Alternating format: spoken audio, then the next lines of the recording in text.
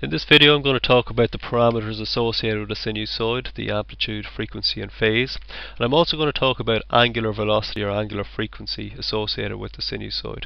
I'm going to make use of this animation which is available on a website and I'll provide the link to the website in the description part of the YouTube video. But what we'll see when I run this animation is this red dot here will rotate around a circle at a particular speed which is referred to as an angular speed or angular velocity. And when I run it, what you're going to see over on the right hand side is a plot or a trace of the red dot's height as it evolves over time. So when I run this, what we're basically seeing is a trace of the height of the red dot as time changes. And this produces a, a sinusoidal waveform that we can see over here. Now if I reset and run that animation, and I'll just pause it again, Effectively what we're doing is calculating the height and the height is based on the angle that we can see here. So this red arc is associated with an angle and the angle in this case is 172.8 uh, degrees. And that has a corresponding value in radians of 3.02. And to calculate the exact height of the red dot, we take the sine of that angle and in this case it's given as a value of 0.13 and that corresponds to the height of this red dot. And I've shown the uh, axis here. So this is the height axis. And we've got a value maximum value of 1 a minimum value of minus 1 and this current height here is 0.3 so it's just off 0 now as I run that animation I can change things like the frequency. So for example if I were to uh, move the slider to the right here and change that up to 1 Hertz and reset it we can see that the rate at which the red dot moves around the circle increases but also the frequency associated with the sinusoid also increases.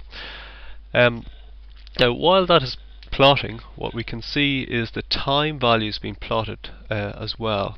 And we can see how long it took for each cycle of the sinusoid to be produced. So in this case it took one second to produce one cycle of the sinusoid. And that corresponds to a frequency of 1 Hertz. But the other thing to notice is up the top is that we're also showing the angle associated with the position of the red dot shown at the top. And while that red dot is moving through uh, or around the circle, it undergoes 2 pi radians of a revolution um, over one second. And this is referred to as the angular frequency. And angular frequency in this case is 2 pi radians per second. If I was to adjust the frequency down here, I will go back to 0.5 and I reset and play the animation again we can see that in this case that we went through pi radians over one second. So maybe let me reset that again and show you. So after exactly one second we've undergone pi radians of a revolution in terms of the position of the red dot and the, the, frequency then of rotation of this red dot is referred to as pi radians per second. So when we're talking about the frequency of sinusoids, we can talk about it in terms of two things. We can talk about in terms of frequency in hertz, but also equivalently uh, frequency in terms of radians per uh, radians per second. The next thing I'll show you is the amplitude parameter. Uh, we can adjust the amplitude associated with the sinusoid by moving this slider here. So if I was to move this down to say 0.6 and reset and play the animation, what you'll see is that the radius of the circle is now reduced and that has a corresponding reduction in the amplitude of the sinusoid. So the if you look over this axis here we can see now that the radius of that the radius of the circle is now 0.5 or sorry 0.6 and that corresponds to the actual amplitude of the sinusoid that we see over here. The last parameter to discuss is the phase offset and to demonstrate that I'm going to adjust the parameters here. I'm going to change the frequency down to its lowest value of uh, 0.1 Hz. I'll adjust the amplitude back up to 1 and I'm going to change the phase offset to be an angle of 1.6 radians and that corresponds to an angle of 90 degrees so what I expect to see um, is that the red dot, the position of the red dot will start up where my mouse is, uh, whereas normally in all the other examples the red dot was located down around this area here. So let me just show you that. So we can see that the red dot started here and that the starting position corresponded to an angle of 90 degrees, uh, well roughly 90 degrees and exactly 1.6 radians. So let me just show you that again. And if I was to adjust the phase offset, um, so let's make it maybe something a little bit larger. Uh, we'll make it a value of yeah, 5.8 radians. So 5.8 radians would be roughly this angle, the, the red dot would be positioned roughly around this region here. So when I start the animation I expect this the red dot now to start off at this location. And we can see that happening there. Okay. Um, now it's important to note that the phase offset, um, if we were to move this phase offset, say up to um, 6.3 radians, that 6.3 radians corresponds to um, 2 pi, uh, an angle of 2 pi radians. And the red dot in that case would start back at this location here where my, where my mouse is pointing. So if I was to reset and play the animation, it starts off here and the overall shape of the waveform that's producing is the same as if I have a phase offset of 0. So if I run that again, we're producing the same shaped sinusoidal waveform.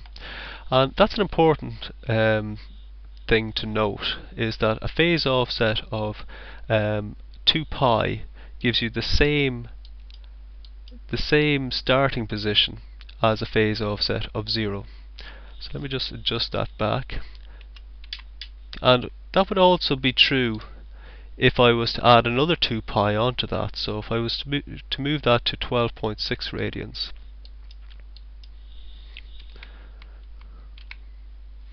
Run the animation again. You'll see that the starting position doesn't change and the overall shape of the waveform doesn't change. So maybe just to reiterate that point one final time if I was to adjust the frequency as well and uh, play the animation. You can see the starting position is still 0 and maybe I'll just use a different angle as well. So if I was to shift that angle back to um, 0.7 radians that would correspond to a starting position of the red dot roughly around this region where my mouse is pointing. There we go we can see that happening. Now if I was to add 2 pi to 0.7 that would that would give me a value of 7 radians. So I'll move this up to 7 radians. Now because um, I've added 2 pi onto this angle, that will produce a, a, starting point which is the same as an angle of um, 0.7 radians. So when I reset and play this animation, I expect to see the same shaped waveform being produced.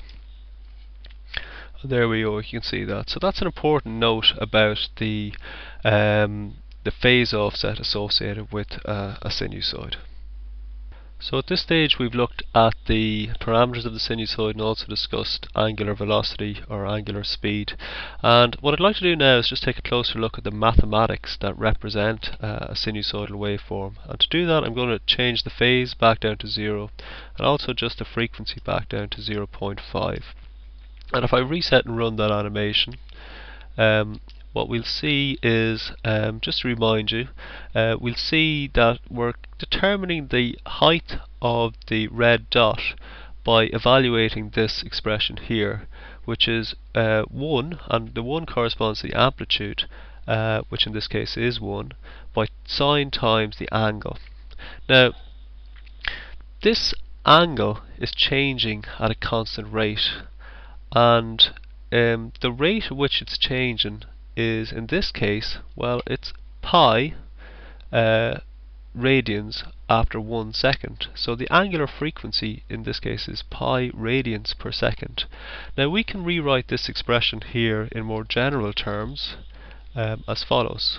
So I could say that this is a times the sine of omega and omega represents angular frequency uh, multiplied by t. So in this case our angular frequency is pi. So I could rewrite this expression in this case as being 1 times the sine of pi by t. And if you were to evaluate this expression for different values of t, you would then get a plot of the sinusoidal shape. So let's just do that. Um, if we were to look at time t equal to 0, and we were to substitute t equal to 0 in this expression, we'd have the sine of 0 by pi gives you 0, so the sine of 0 gives you 0, and that's that point here. If we're then to look at time t equal to 0.5 seconds and substitute it into this equation, then we're getting the sine of pi divided by 2. Now the sine of pi divided by 2, or the sine of 90 degrees, is a value of 1, that gives us this point. Uh, if we take one more example and substitute t for a value of 1, and then we'll be getting the sine of pi and the sine of pi or 180 degrees is also a value of 0 so we could substitute t for different values not only those three that I use but for lots of different time values and we would get a plot of our sinusoidal waveform. Now the, the last thing that I could add into this uh, expression is the phase offset. And the phase offset just changes the initial value of the amplitude. So let's just um, show you that in action. Um, okay, just change that clear, great. Um, now I can change my expression to include phase offset if I write it out like this, sine of omega t plus phi and if we were to change the um, parameters down here, if it was just the uh, the phase offset, so let's say I was to substitute a value of 0.7 and uh, to leave the frequency and the amplitude the same, that would become 1 times sine of pi by t plus 0.7.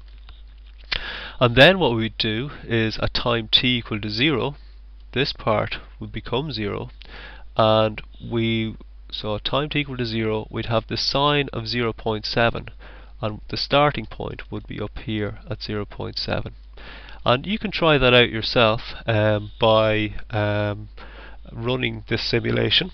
And if you change or tick this checkbox you can see the calculations being shown over here.